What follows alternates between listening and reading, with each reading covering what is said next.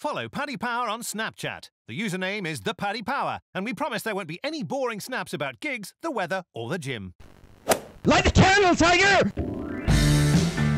Hello and welcome to the Racing Post Golf Postcast. I'm Jack McCarran, stepping in for Bruce Millington, who's away on his holidays this week, and I'm joined in studio by Joe Champion of the Racing Post and on the line by Ian McLaughlin from Paddy Power. On today's show, we'll reflect on wins for Matt Wallace and Bryson DeChambeau last weekend and ask what that means for the Ryder Cup picture. We'll also preview the BMW Championship and the Omega European Masters, as well as answering some of your questions. But first of all, Joe, there's a bit of a challenge tour feel to today's lineup, with me sitting in Bruce's chair and you alongside me. But are you confident you can uh, step up in the absence of Mr. Steve Palmer? Yeah, I think so. Yeah, I'm not quite the form horse that Steve is, but I'll give it a go. Well, luckily, Joe is an absolute judge on the golf, so he's a worthy replacement. And of course, Ian is with us after his cracking tipping performance last week. Ian, did you back Matt Wallace as well as tipping him? I did, I did back him. Uh, dialed back the stakes a bit after a quiet few weeks, but it was nice to get a winner, especially 33 to one with Wallace. I think he birdied seven in his last nine holes if you include the playoff. So he came from came with a wet sail to get it done, thankfully. Good stuff. And Matt Wallace was also tipped at 35 to one by RFO golf expert Jeremy Chapman. So don't forget you can read his thoughts on the golf in the racing and football outlook every single Tuesday.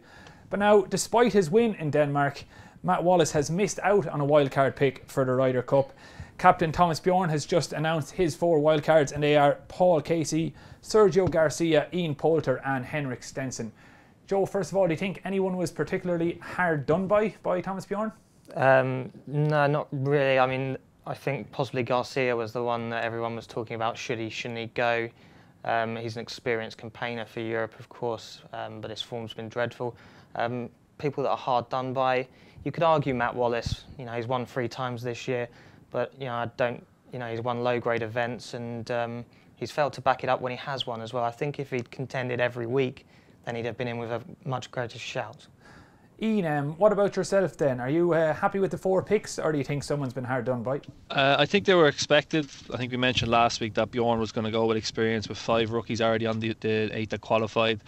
Obviously, as Joe said, Garcia would have been the one where would he or won't he, and I think I agree with Joe with Matt Wallace, but I would say more Rafael Cabrera would have felt a bit hard done by. Like he went two two wins, one draw last uh, last time in Hazeltine, playing in great form. Obviously, challenged for the lead for a long time in Boston last week. So I think I think the coin flip was between him and Sergio for the last pick. So obviously, if if one player is a feel hard done by, I thought it'd be Rafa. And uh, over in the US, Bryson DeChambeau won his second straight FedEx Cup event with a final round 67 at TPC Boston last week. He has been named in Jim Furyk's Ryder Cup team alongside Phil Mickelson and Tiger Woods. Joe, much the same, much to be expected from the US team? Uh, very much so. There's no way you could leave out Tiger Woods and Phil Mickelson. Um, and uh, yeah, DeChambeau's superb in the last couple of weeks. He's been great all season, really, but he's really got it together now um, yeah, almost impossible to leave him out. So the main question is who's going to get the fourth pick, of course. Um, Ian, Bryson DeChambeau, he's been in cracking form of late, obviously winning the uh, last two tournaments. Do you see him as a potential future multi-major winner? I do, I do indeed. Yeah, I think he's starting to really settle himself into the tour. Like there's obviously a, bit, a lot of rigmarole about him when he first came to the tour as the mad scientist, all these new uh, all the clubs the same length sort of way. There was a bit of uh, fanfare about him. Now he's starting to settle in, and obviously he's showing how good he is. And I think there's a lot more left in the tank in terms of potential. And I would say, like, there's quotes of 51 for the Masters next April, and I think it's a course that I think he top 25 as an amateur there two years ago. So I think it's a course that's really going to suit him. And by the time we come around to April, he could be top three in the world. So I think 51 is probably a good value bet next year for the Masters. And if he continues to win these big tournaments, and for example, if he does go on to win a Masters or perform well in uh, the Ryder Cup, could you see more maybe amateur golfers adopting his approach to the game, or is he just a complete one off? I don't think it's a complete one off. Listen to the broadcast on Sky on Monday night. Claude Harmon, who's coached to Dustin Johnson and Brooks Koepka, actually mentioned that he's now using single length clubs. Uh, he said he had he has bad problems with his back, and he seems to find that these sort of seven iron every club length seems to help his game. So I think the more DeChambeau comes into the fore, and the more that gets talked about and how beneficial it is to amateurs, I think we'll see it a lot more for sure. So he could be the new Fosbury flop. Um, That's right, yeah. well, uh, we'll watch this space. Anyway, before we move on to the weekend's action, as always, we'll pick up some listen, uh, qu- listeners' questions. And first of all, Andrew Wilshire, a Racing Post colleague of myself and Joe, he asks, Beau Hossler has the game to be a contender and looks a star for the future. But after a recent last day disasters, has he got the bottle to win a PGA Tour event? Joe, I'll throw that one to you first. Um, yeah, I'm sure he has, but it's going to take time. You've got to remember that he's Andrew's described him there as such a talent, and he is. He's a brilliant young player, but you know it takes time for these players. You know, we've just talked about Bryson DeChambeau getting settled into the tour, and Hossler's only been on tour for a year or so, so it. sorry, it's uh, it's difficult to get settled in, and um, he's got in winning positions, but he is only a young lad, and you know it's not easy to close out. Some people have got, you know, they've got the balls to close it out straight away, but not all of them have that, and it may take some time. But he'll keep knocking on the door, and eventually he'll get over the line because he is that good. Ian, over to you, Beau Hossler. Yeah, I'd agree. Like he's only 23 years of age, so to be tagging him a, a bottler is probably a little bit harsh at the moment. You look like he's kind of in the same mold of a, a, Jordan Spieth. When he first came on the tour for the first year, 18 months, he put himself in positions to win tournaments and then kind of just didn't close the deal and was starting to be tagged as somewhat of can he finish here. And then we all know what he did the next year, 2015, with two major wins, a FedEx Cup victory, six wins in the season. So these type of players coming, especially from the Web.com tour, I think it's with it being so deep with the fields at the moment and the talent being there. I think it might take a year to 18 months for players to really delve into the turn into the sorry into the season properly. And I think Hossler's one of those who could win multiple times in the next five to ten years. Good stuff, lads. Uh, next question then comes from Deck Pilling. He asks, "How many majors can Rory get to? It's been a long time since he's won one. Is it only a matter of time before he wins again?" Ian, I'll come to you first with that one. Yeah, uh, looking through, uh, as always, look through like kind of the next major venues for the next three or four years with players, and looking through Rory's. He's coming obviously to Portrush for the Open next year. He seems to be getting the grips to it Augusta, so that'd be one he can kind of probably get a green jacket there. He's coming to TPC Harding Park for a PGA Championship where he's won the Dell match play before. He's going back to Kiawah Island for another PGA Championship. I think he Rory's type of player these days where he just comes to courses that he enjoys and kind of brings his game to that level. Is he too bothered with courses that don't don't really suit him? I don't think he is anymore. So if I was going to set a line, I'd probably be over under seven and a half career major wins for Rory. So would you be in agreement there? Yeah, I was thinking about eight overall. You know, he's such a good ball striker, but he needs the courses to be set up perfectly for him these days, really. Um, you know, the, the other young lads on the tour are catching up with him almost in terms of distance, but he's still a prodigious hitter of the ball. So when, it, when the setup's perfect, then he will win again. It's just a matter of time, but yeah, about four more maybe. Well, on that point then, Michael Rhodes asks, out of the current young crop coming through, who do the panel think can challenge for world number one in the coming years? So I suppose he means people who have not yet reached number one status. So Joe, we'll come to you first. Well, it depends what we mean by reaching number one status. I mean, um, Jon Rahm would obviously be the main man, and he's he's so close already, and he's only 23 years of age. He's got plenty in him, and I suspect he'll win several majors over the years. But slightly more off the radar, one of Steve's favourites, Aaron Wise. He, he's a good young player to watch out for, and um, Joaquin Niemann as well, who's um, already been found in the market whenever he starts a course. But you know, he's already um, churning out top 20s whenever he plays, and he, he's only been on tour for a few months, so he's definitely one to watch. And Ian, what about yourself? Any that Joe hasn't mentioned? Uh, I'd say DeChambeau's probably the obvious one in terms of the front end of the market, at the front end, sorry, the world rankings now with uh, guys with potential to go to number one. And two more from kind of left field. I'd say Sungjae Im, a young Korean player just coming off the web.com. He's won three times already in the web.com this season. He'll be on the PGA Tour next year. I think he's potential to be a world number one in the future. And Cameron Champ, we've mentioned before in previous uh, podcasts how good he is and how far he hits the ball. I think he's another one who could be potential number one in the future. Yeah, that's Greyhound Derby favourite, Cameron Champ. uh, just going back to the Ryder Cup team there, Andy Black asks, which Ryder Cup player will be the most shaky under pressure? Um, Ian, I'll start with you. So maybe one from Europe and one from the US now that we know who's going to be there. Which would yeah. you be most uh, concerned about? Generally, it's probably you're looking at the rookies are probably the most shaky. Obviously, the ones with less experience, not playing in the Ryder Cup. I don't think it's going to be a massive cauldron as it was at Hazeltine two years ago in Paris. I think it'd be a lot more relaxed in that way. One I would say, I don't want to be harsh name them. One I would say that's a potential. I'm trying to think now maybe Jon Rahm, just with the fiery attitude, he might get a little bit too hot under the collar and might kind of break down in the in the singles or foursomes maybe. And one from the American side, who's actually actually more experienced, would be Bubba Watson, just with his his whole history with Paris and France. I think he's one who could potentially melt down as well. Enjoy yourself. Any potential meltdowners? Uh, yeah, I, I, agree fully with Watson. Um, he's not a fan of the course, so um, you know he could he could easily uh, melt melt down around there.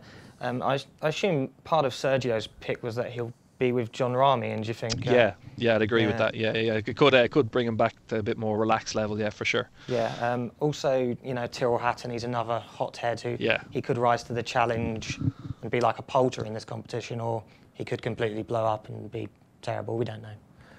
Well, the final question comes from Lucas Cashbeast, but he's asking about Danny Willett's chances this week. So, Lucas, stick around. We'll get back to that later on. But coming up after the break, we're going to talk to BMW Championship. Success ain't earned, it's bought. That's why at Paddy Power, we paid the big bucks for the best tech nerds in the world to develop our new, fastest ever app. Download the new app from the App Store or Play Store now. 18 plus, begambleaware.org. Welcome back to the Racing Post Golf Postcast. We're looking at the BMW Championship at Aronimink Golf Club in Newtown Square, Pennsylvania this weekend. Ian, could you just give us a quick show of betting before we get into the tipping? Sure, we're very favourable seven places this week in the BMW with only the 70 players playing. You're always Uh, very favourable, Ian.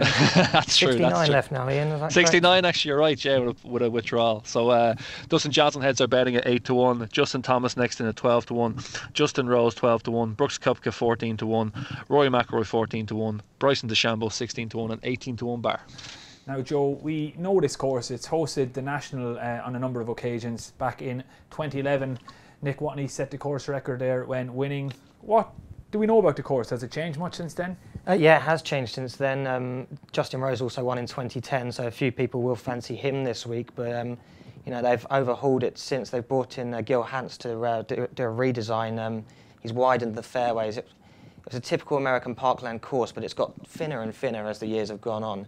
And um, he's come back in and he's restored the fairways to a lot closer to the original redesign, the original design even.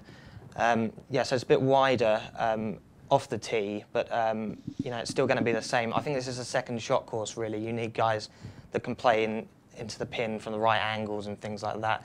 Um, yeah, the greens will be pretty slick as always, but um, yeah, very different to how it was seven years ago. And Joe, what's the headline tip? Who is going to win in Pennsylvania this weekend? Uh, for me, it's Jordan Spieth. Um, you know, he hasn't played well all season. He'd readily admit that, but um, you know, he is a class act when he gets it all together. And there are signs in recent weeks the putter is definitely getting back to what it was. You know, he's not ranking top of the tree for for uh, strokes gained with the putter yet, but you know, he was second in at the, P, the uh, USPGA for strokes gained, and he's put in a couple of solid, if not spectacular, weeks in the first two playoffs. Um, his ball striking, while not quite as it was, is still pretty good. And this is the course where he'll be able to plod his way round. Um, and yeah, I think he's got a great chance this week. It's um, it's a Donald Ross design. He also designed Sedgefield. Spieth was um, where the Wyndham Championships hosted, and Spieth was uh, second there in 2013. You know, it, it strikes to me as a course where you've got to have a good golfing brain to get round, even if you can bomb it off the tee now with the new fairways, the widened fairways. But um, yeah, I think Spieth's got a great chance this week. And Ian, you're obviously a Jordan Spieth fanboy. Are you rolling in with Joe, or have you a different selection as your I have a different selection. I do like Spieth as well, but I have a different selection. It's uh, Hideki Matsuyama. Uh, final round 65 on Monday for a four place finish at the Dell. Have been coming into decent form before this, with an 11th at the Wyndham Championship and a 15th at the Northern Trust. He ranked second in the field in putting at the Dell and is ranked 20th in strokes gained putting for his last five tournaments. Aronimink is a ball striking test, and Hideki's, Hideki's elite ball striking should see him uh, suited to the course. His good ball striking stats combined with big improvements with his putter, he's my idea the most likely winner this week. So Jordan Spieth for Joe Champion and Hideki Matsuyama for Ian McLaughlin. Ian, we'll stick with you then for a couple of other selections. Your next best and maybe one at a bigger price. Yeah, I have two more. Uh, next best is Webb Simpson. Uh, obviously had a very poor weekend at Dell with weekend rounds of 76 and 74. Like before that, he was at minus 11 for two rounds in Boston. And before that, he put up very good performances 12th at the British Open, 19th at the PGA Championship, and second at the Wyndham Championship, as Joe mentioned, the Donald Ross design course as well. Ranks highly in almost all stats this season, and the key stats for Aronimink, such as uh, strokes gained, tee to green, and par 4 scoring. Uh, played here in the AT&T National in 2010 and 2011, 41st in 2010, 8th in 2011. Uh, I think he can go well. Return to form this week and quotes 51 look more than fair. And one outsider is Kyle Stanley. Uh, 12th last week in Boston to follow up an excellent second place at the Bridgestone Invitational. Struck the ball so well last week and would have had a top five with a decent week on the greens.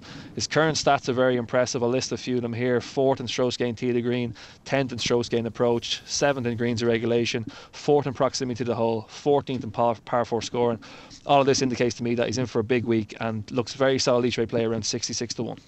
66 to 1. We like the sound of that. Uh, Joe, have you another few selections for us? I've got a couple more. Um, I echo what Ian said about Hideki Matsuyama. I think it's all coming right for him now, and he's got some, you know, he's had a bad year with injury problems, but, it, um, you know, he's got some unfinished business this year, and it would not surprise me if he claims uh, a title either this week or next week. He's also um, performed well at the Wyndham a couple of weeks ago. So, um, yeah, like him, and I also like Emiliano Grillo. We talked about ball striking, and Grillo when he's playing well, he's one of the best out there. And um, you know, he's he's been in excellent form last week. He finished seventh. He could arguably have finished a bit higher, but um, you know, he, he's an excellent uh, ball striker and he's excellent tee to green. He ranked uh, seventh last week in uh, strokes gained tee to green. So um, you know, he's accurate. He should get a, quite a bit of joy around here if he brings his game. Good stuff. And before we take another break, any other bets either of you meant to mention, Joe? You happy Um, with happy with your selections? Pretty happy, yeah. And Ian? I'm the same, happy enough with them. Okay, we'll be back in a minute with the Omega European Masters. Check out Paddy's Rewards Club. Simply place five bets of £10 or more across any sport in a week, and you'll get a free £10 bet then next week. TNC's apply 18 plus begambleaware.org. Welcome back to the Racing Post Golf Postcast. We're looking ahead to the Omega European Masters at Crans-sur-Sierre. I hope I've said that right for all you pedantic golf fans out there. This tournament has gone to a playoff in four of the last five seasons, and it was won last year by Matt Fitzpatrick, who was also a runner-up to the aforementioned Danny Willett in 2015. Ian, could we get a full show of betting, please, from Paddy Power? Sure. Uh, seven places also this week for the Omega European Masters. Uh, Matthew Fitzpatrick heads are betting at 10 to 1. Thomas Pieters next in at 20 to 1. Charles Schwartzel 22 to 1. Matt Wallace 22 to 1. Lucas Bjerregaard 22 to 1. Lee Westwood 25 to 1. And 28 to 1 bar. Lovely stuff. And Joe, if you could once again tell us what to expect from this course. Obviously, it's a European Tour regular uh, golf course that they use. It's been on the go for many, many, many years. But if you could just remind the listeners what they can expect this weekend. Uh, yeah, it's a nice one for golf punters, this, because there's plenty of uh, form to go on it.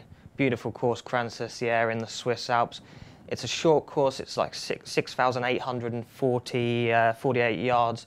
So um, shorter hitters are not disadvantaged by a lack of length. So you have to look at the roll of honour here. And you talked about um, Matt Fitzpatrick, of course, um, Danny Willett, Alex Noren, um, Miguel Angel Jimenez, uh, Thomas Bjorn in his advancing years. You don't have to hit it a long way to contend here.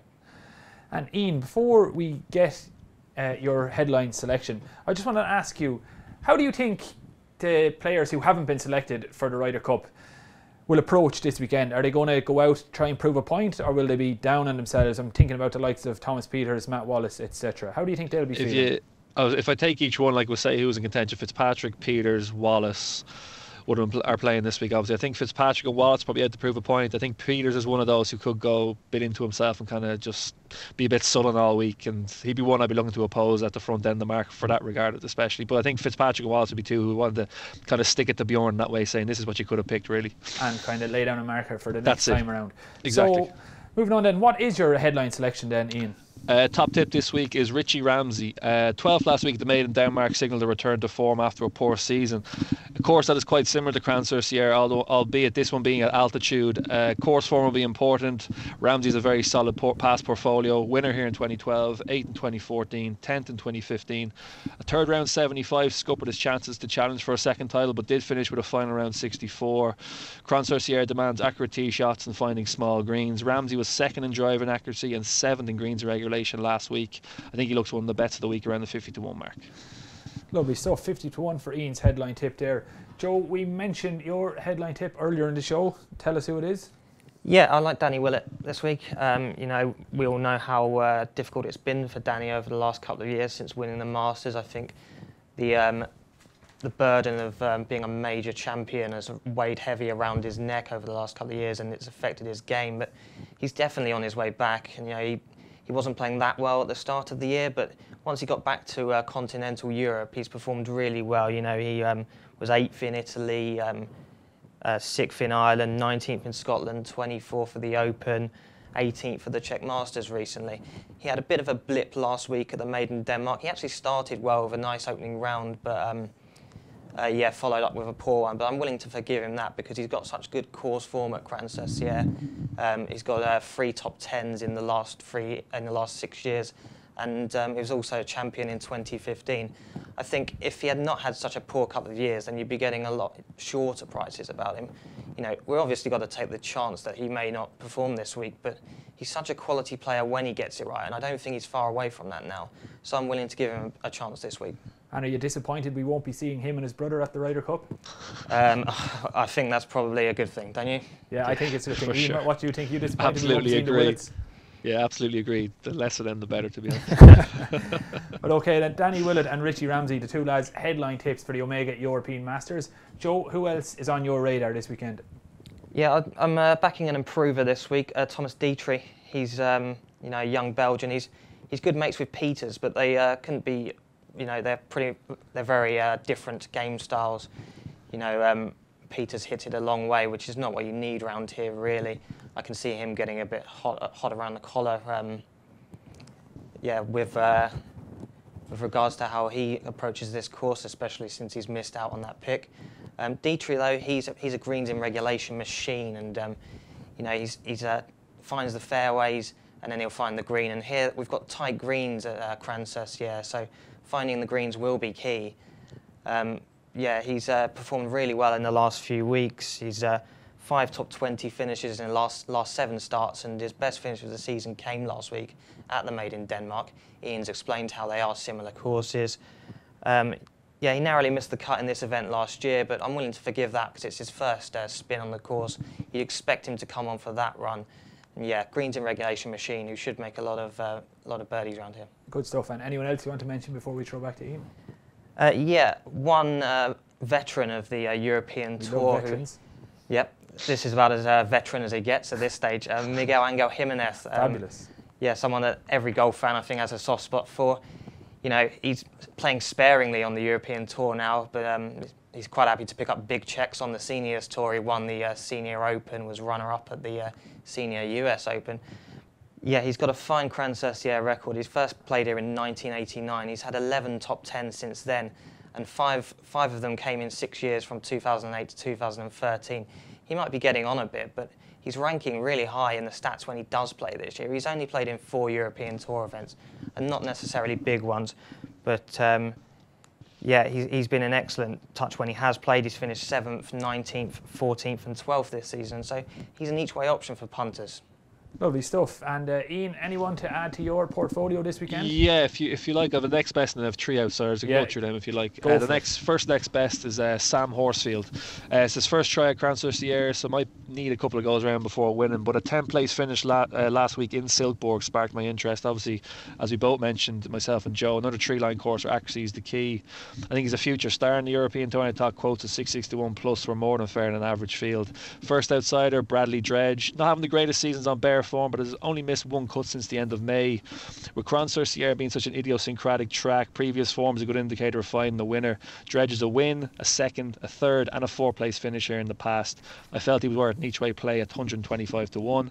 Second outsider is Kim Koivu, a Finnish player who's making big moves on the Challenge Tour this season. Won the Finnish Challenge four weeks ago and then won the Rolex Trophy event uh, 10 days ago, an event also played in Switzerland. Excuse me, his first try at the course. Excuse me, his first try at the course, but looks a star of the future. I think he's worth a small play at 125 to 1 as well. And the last outsider is David Lipsky. Not having the best season, two decent performances in Germany, most recently a 13th place finish in the, in the European Open. Another player with solid course form, including a win in 2014. I think he's worth a small each way play, 125 to 1 as well. Lovely stuff, Ian. And then, as just before we wrap up this week's show, we'll just get a quick summary of the weekend tips. Joe, what were your three for the BMW? Uh, for the BMW, Jordan Spieth, Hideki Matsuyama, and Emiliano Grillo. And Ian, yours for the BMW were? Hideki Matsuyama, Webb Simpson, and Kyle Stanley. And back in Europe, Joe. Uh, yeah, I realised I missed one off, so I'll, uh, I'll do that now. Um, Danny Willett, my, uh, best bet, Thomas Detry, and Miguel Angel Jimenez, and the one I've missed off is Aaron Rai.